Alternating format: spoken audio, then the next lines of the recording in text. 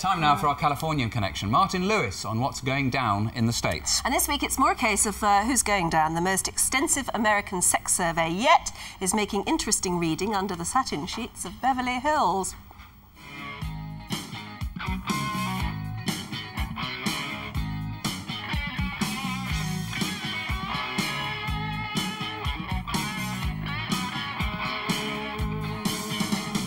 Good morning, Anne and Nick. Martin Lewis here in Hollywood. In a few moments, we're going to meet a couple of young screenwriters who've had a huge success by writing a movie about one of Hollywood's biggest failures. But first, the latest tales from Tinseltown. Big talking point this week is this book, Sex in America. It's the most comprehensive survey of American sexual behaviour since the Kinsey report back in the 50s.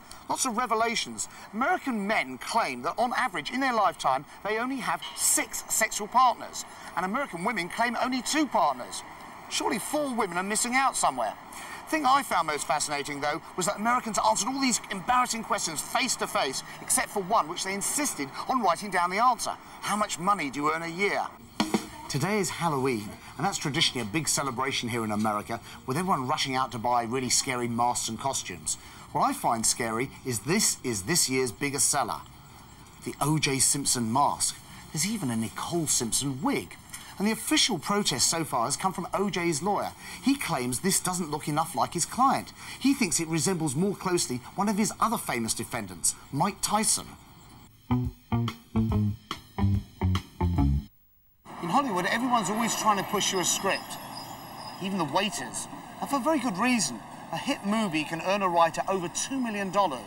No wonder that each year the copyright people register over 30,000 new scripts. Out of the, the scripts that get sold, I would say about one out of every 10 or 15 scripts that get purchased by a studio actually get made. So the chances is like a snowball in hell, isn't it? Uh, I think the snowball has a better chance. So what's the criteria for a big hit? What everybody else is saying around town, that's called heat.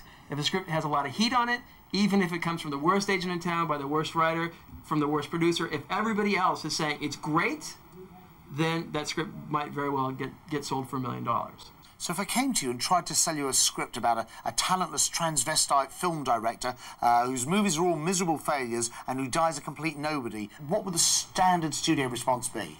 Pass. Well, that film has been made, and it's the latest hit.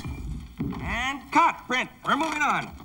It's called Ed Wood, and it stars Johnny Depp, who plays the world's worst film director, who has a fetish for wearing Angora sweaters.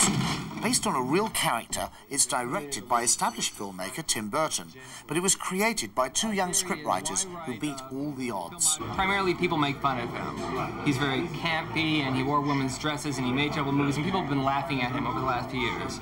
But we thought, what if you write a movie about him, but make the audience root for him? And and, and we were we were in, in such a, low morale point ourselves that it seemed important to us to make an audience sympathize with this misunderstood artist. I mean, we've been talking about writing an Ed Wood movie for 10 years, and we kind of didn't write it until now just because we thought, well, who would make this movie? but when we finally did get around the right to, mind? Exactly. When we finally did get around to writing it, one of the, one of the most powerful directors in the world uh, supported us. Well, I think Ed Wood was made because of the, uh, the talent and bravery of a director who was able to override the fear of a studio. What happens is people look at the script and something strikes them as odd, so they say lose that, and then another guy says, well, that's odd, lose that. After a certain point, you've lost everything that was odd and interesting. You've got a very bland product. I mean, one lesson on this movie is we wrote a very strange movie, and it got shot verbatim. What was your inspiration for doing this film? If you look at uh, filmographies of many famous artists, someone like Van Gogh was never understood in his time. He was laughed at, people wouldn't buy his paintings, he died a pauper. Like Ed Wood. Well, Ed Wood is going to be in British cinemas early in the new year. Anna Nick, watch out for a boom in the sales of Angora sweaters. Be Well, right absolutely. there. Mind you, I'm always alert to that one.